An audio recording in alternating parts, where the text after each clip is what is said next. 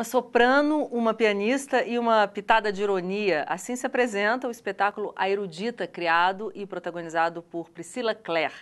O texto trata de uma cantora lírica em conflito que decide se libertar da postura rígida imposta pela música erudita. O espetáculo, que tem direção de Antônio Delbrando, faz parte do projeto Troca da campanha de popularização, que dá destaque a produções experimentais.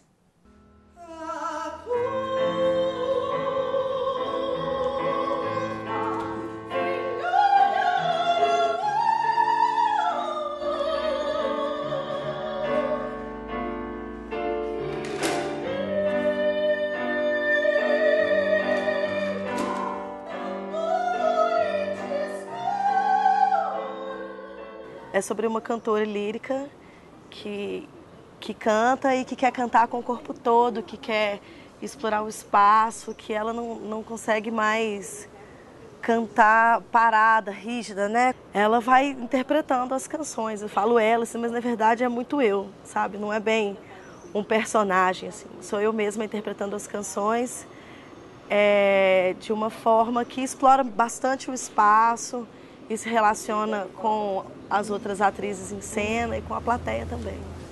Erudito, quem é erudito não mexe o braço. Ah, pode até mexer. Se for cantar Mário de ópera, por exemplo. Mas um lead não se canta mexendo jamais. Eu fui percebendo que que os cantores geralmente se apresentam assim muito rígidos, sabe? Mas é porque não existe um, um trabalho voltado para isso, assim, sabe? Para se portar em cena, né? E como você vai entrar num palco, né? Como você vai encarar esse público que está à sua frente. É, qual o valor dessas palavras que você está cantando nessa música que você está cantando.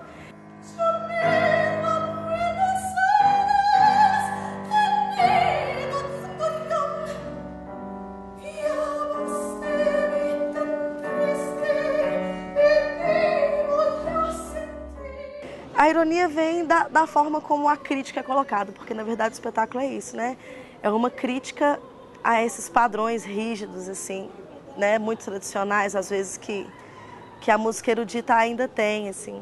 E no meu espetáculo, na, na erudita, eu abordo essa questão dessa formalidade e vou desconstruindo essa, essa formalidade é, de uma forma cômica também, assim, porque não é concerto. O espetáculo, apesar de, eu, de ser um pouco um concerto, assim, de eu cantar né, repertório erudito, cantar Mozart, né, Debussy e tal, é, ele tem essa, essa preocupação com, com o visual, assim, e acaba tirando um pouco essa seriedade que tem a música erudita, essa rigidez.